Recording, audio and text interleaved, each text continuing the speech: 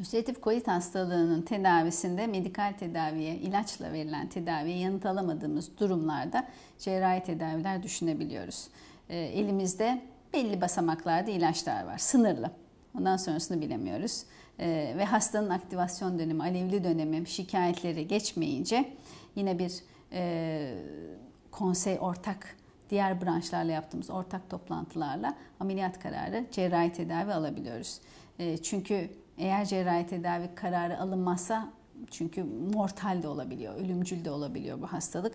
İltihap yayılabiliyor, hastanın ateşi bir şekilde düşürülemiyor. Bu gibi durumlarda cerrahi tedavi muhakkak gündem, gündemimize getiriyoruz. Bunun dışında e, uzun kronik bir hastalık ülseratif kolit. Eğer bir e, kanser riski 10 seneden sonra kanser riski artabiliyor bu hastalıklı bağırsaklarda. Bununla ilgili yaptığımız kontrol kolonoskopilerde kanser belirtisi ya da kanser öncüsü bulgular gördüğümüzde de hastanın hiç şikayet olmasa bile yine cerrahi kararı alıp o kalın bağırsağı almak durumunda kalabiliyoruz. Medikal tedaviye yanıt alamadığımız ya da böyle kanser gelişme riski ya da kanser gelişmiş hastalarda cerrahi tedavi aklımızda.